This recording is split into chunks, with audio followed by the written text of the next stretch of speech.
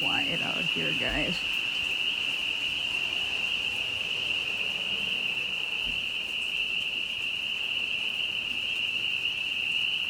There ain't stopping now.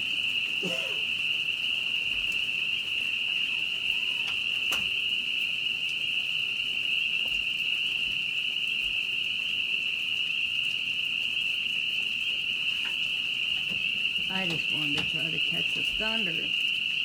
But I don't think we're going to be lucky, guys.